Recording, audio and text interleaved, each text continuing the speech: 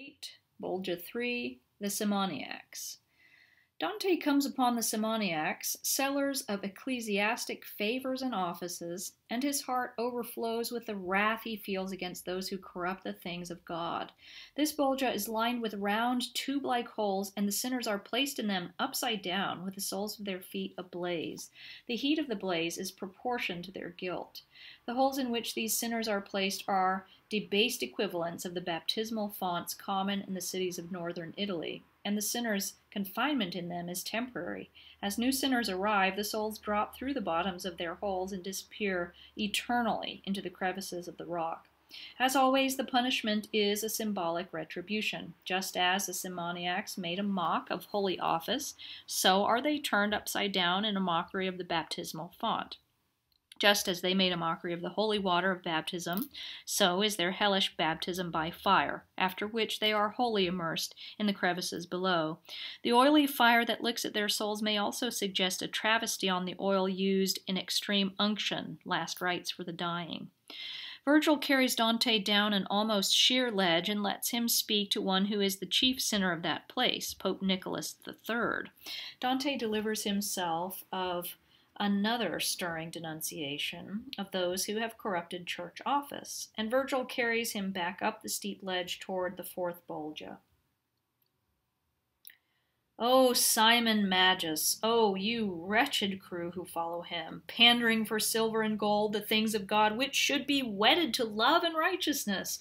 O thieves for hire, now must the trump of judgment sound your doom here in the third fosse of the rim of fire. We had already made our way across to the next grave and to that part of the bridge which hangs above the midpoint of the fosse. O sovereign wisdom, how thine art doth shine in heaven, on earth, and in the evil world! How justly doth thy power judge and assign! I saw along the walls and on the ground long rows of holes cut in the livid stone. All were cut to size, and all were round. They seem to be exactly the same size as those in the font of my beautiful San Giovanni, built to protect the priests who come to baptize, one of which, not so long since, I broke open to rescue a boy who was wedged and drowning in it. But this enough to undeceive all men. From every mouth a sinner's legs stuck out as far as the calf. The soles were all ablaze, and the joints of the legs quivered and writhed about. Withes and tethers would have snapped in their throes, as oiled things blaze upon the surface only. So did they burn from the heels to the points of their toes. Master, I said, who is that one in the fire who writhes and quivers more than all the others? From him the ruddy flame seemed to leap higher. He said to me, If you wish me to carry you down along that lower bank, you may learn from him who he is, and the evil he has done. And I, What you will, I will. You are my lord, and know I depart in nothing from your wish and you know my mind beyond my spoken word. We moved to the fourth ridge, and turning left, my guide descending to a jagged path into the strait and perforated cleft. Thus the good master bore me down the dim and rocky slope, and did not put me down till we reached the one whose legs did penance for him. Whoever you are, sad spirit, I began, who lie here with your head below your heels and planted like a stake, speak if you can. I stood like a friar who gives the sacrament to a hired assassin, who, fixed in the hole, recalls him and delays his death a moment. Are you there already, Boniface? Are you there already? he cried. By several years the writ has lied, and all that gold and all that care. Are you already sated with the treasure for which you dared to turn on the sweet lady, and trick and pluck and bleed her at your pleasure? I stood like one caught in some raillery, not understanding what is said to him, lost for an answer to such mockery. Then Virgil said, Say to him, I am not he, I am not who you think. And I replied as my good master had instructed me. The sinner's feet jerked madly. Then again his voice rose, this time choked with sighs and tears, and said at last, What do you want of me, then? If to know who I am drives you so fearfully that you descend the bank to ask it, know that the great mantle was once hung upon me. And in truth I was a son of the she-bear, so sly and eager to push my whelps ahead that I pursued wealth above and myself here. Beneath my head are dragged all who have gone before me in buying and selling holy office. There they cower in fissures of the stone. I too shall be plunged down when that great cheat for whom I took you comes here in his turn.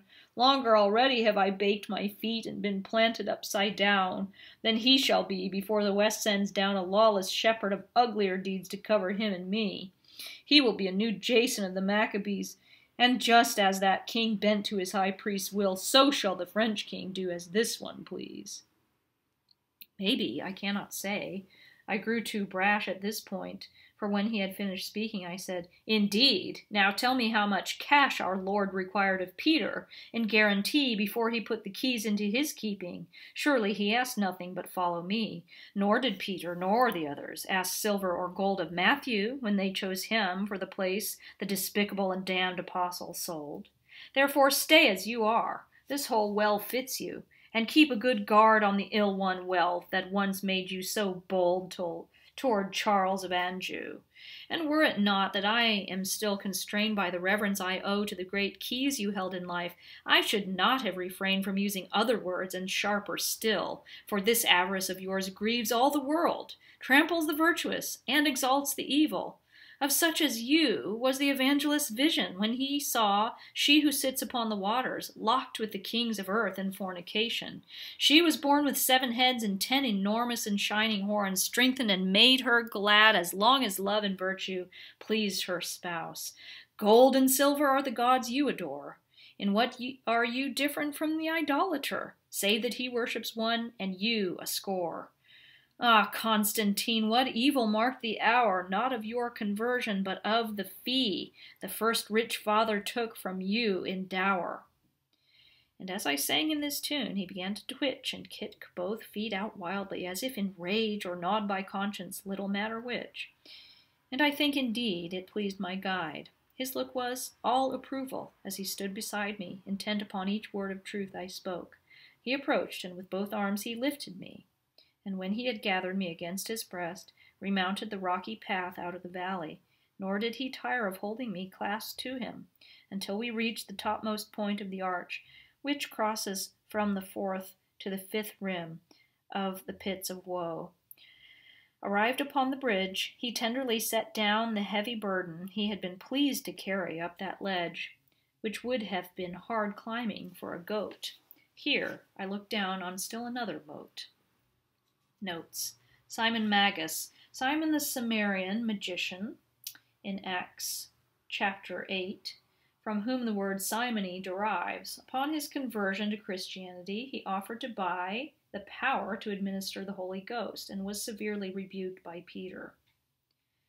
Line 8, the next grave, means the next bolgia. Line 9, that part of the bridge, is the center point. The center of each span is obviously the best observation point. Line 11, Evil World is Hell. Lines 17 and 18, The font of my beautiful San Giovanni. It was the custom in Dante's time to baptize only on Holy Saturday and on Pentecost. These occasions were naturally thronged, therefore, and to protect the priests, a special font was built in the baptistry of San Giovanni with marble stands for the priests, who were thus protected from both the crowds and the water in which they immersed those to be baptized. The baptistry is still standing, but the font is no longer in it. A similar font still exists, however, in the baptistry at Pisa. 19 through 21. In these lines, Dante is replying to a charge of sacrilege that had been rumored against him. One day, a boy playing in the baptismal font became jammed in the marble tube and could not be extricated. To save the boy from drowning, Dante took it upon himself to smash the tube. This is his answer to all men on the charge of sacrilege. Line 29. More than all the others. The fire is proportioned to the guilt of the sinner. These are obviously the feet of the chief sinner of this Bolgia. In a moment we shall discover that he is Pope Nicholas III. 46 to 47. Like a friar, etc.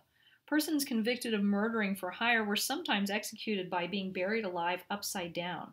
If the friar were called back at the last moment, he should have to bend over the hole in which the man is fixed upside down, awaiting the first shovelful of earth. Pope Nicholas III, Giovanni Gaetano degli Orsini, Pope from 1277 to 1280, His presence here is self explanatory. He is awaiting the arrival of his successor, Boniface VIII, who will take his place in the stone tube and who will in turn be replaced by Clement V, a pope even more corrupt than Boniface. With the foresight of the damned, he had read the date of Boniface's death, 1303, in the Book of Fate, mistaking Dante for Boniface. He thinks his foresight has erred by three years, since it is now 1300. 66, the Great Mantle, is referring to the papacy. Line 67, son of the she-bear. Nicholas's family name, Degli Orsini, means, in Italian, of the bear cubs. 69, pursed. A play on the second meaning of bolgia, purse. Just as I put wealth in my purse when alive, so am I put in this foul purse now that I am dead. 77 to 79, a lawless shepherd, Jason of the Maccabees, the French king.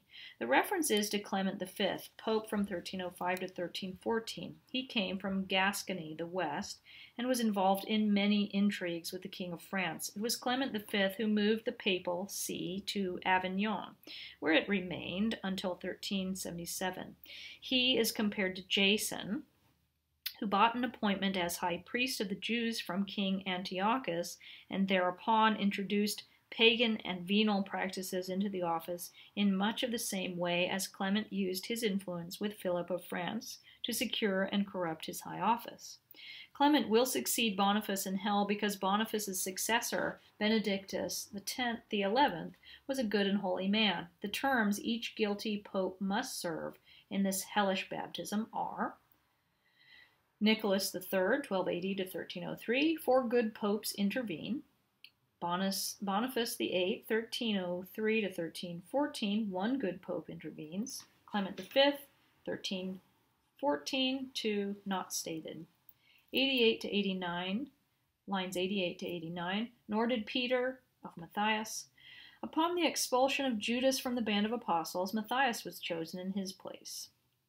993, Charles of Anjou.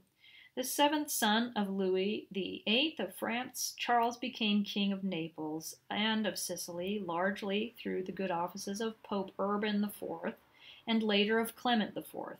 Nicholas III withdrew the high favor his predecessors had shown Charles, but the exact nature and extent of his opposition are open to dispute. The exact uh, Dante probably believed, as did many of his contemporaries, that Nicholas instigated the massacre called the Sicilian Vespers, in which the Sicilians overthrew the rule of Charles and held a general slaughter of the French who had been their masters. The Sicilian Vespers, however, was a popular and spontaneous uprising, and it did not occur until Nicholas had been dead for two years.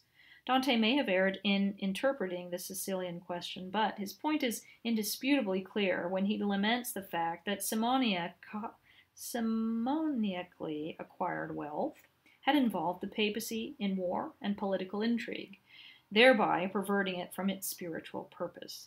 Line 95, the Great Keys, refers to the papacy.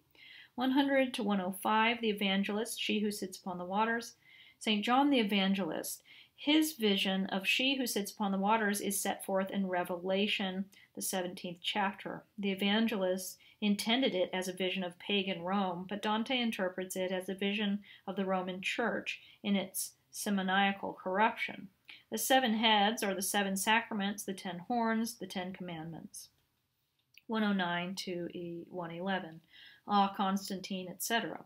The first rich father was Sylvester, Pope from 1314 to 355, 314 to 355. Before him, the popes possessed nothing, but when Constantine was converted and Catholicism became the official religion of the empire, the church began to acquire wealth. Dante and the scholars of his time believed, according to a document called the Donation of Constantine, that the emperor had moved his empire to the east in order to leave sovereignty of the west to the church. The document was not shown to be a forgery until the 15th century. Knowledge of the forgery would not, however, have altered Dante's view. He was unwavering in his belief that wealth was the greatest disaster that had befallen the Church, for in wealth lay the root of the corruption which Dante denounced so passionately.